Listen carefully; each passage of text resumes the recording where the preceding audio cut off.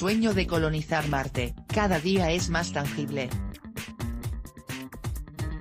La sonda espacial InSight, aterrizó en el planeta rojo en noviembre del 2018 y desde entonces, ha dejado boquiabierto al mundo con sus impresionantes descubrimientos, ya se tomó su primer selfie, grabó sonidos del viento y avanza a pasos agigantados, estudiando la sismicidad del suelo marciano. En la NASA, todo es fiesta, han pasado siete años desde que se hicieron los primeros bosquejos del artefacto no tripulado hasta el día de su lanzamiento, y cuando pensamos que ya no nos podían sorprender más, la Administración Nacional de la Aeronáutica y del Espacio, logra marcar su octavo aterrizaje exitoso en Marte.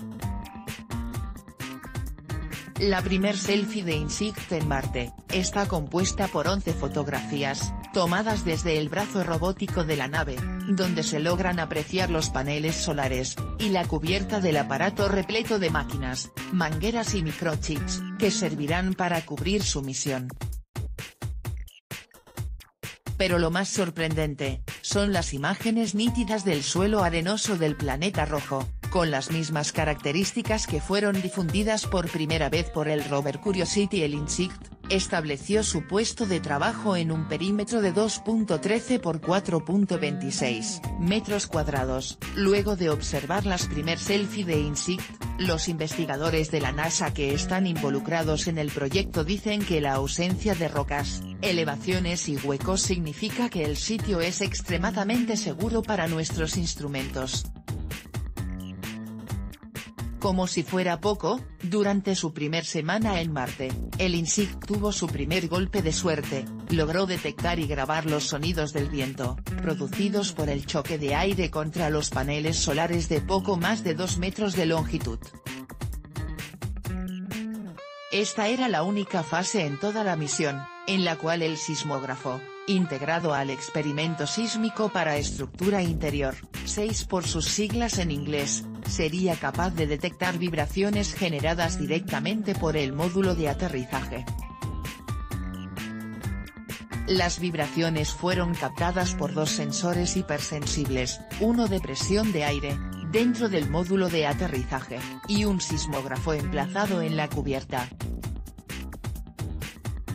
Ambos instrumentos grabaron el sonido del viento de diferentes formas, explica la NASA. El sensor de presión de aire, parte del subsistema de carga útil auxiliar APS, que reunirá datos meteorológicos, registró las vibraciones directamente.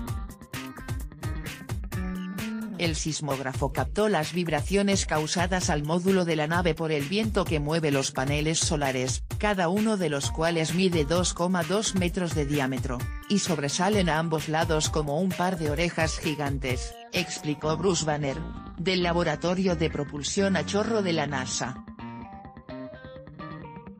En las próximas semanas, el equipo del INSICT comenzará una nueva fase, los instrumentos necesarios para medir la sismicidad, vibraciones, cámaras y demás aparatos serán despegados, pero aún así podrá seguir detectando el movimiento en el módulo de aterrizaje. Los sismos en la Tierra producen una serie de vibraciones que suenan como campana, por ahora, el INSICT estará registrando las sacudidas habituales causadas por el viento y de esta forma, preponderarlas como una medida de medición más exacta en la superficie marciana.